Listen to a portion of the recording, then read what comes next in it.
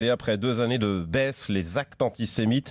en forte hausse en France, même une très forte hausse, plus 69% sur les neuf premiers mois de l'année, s'alarme le Premier ministre euh, Édouard Philippe dans une tribune publiée ce matin sur son compte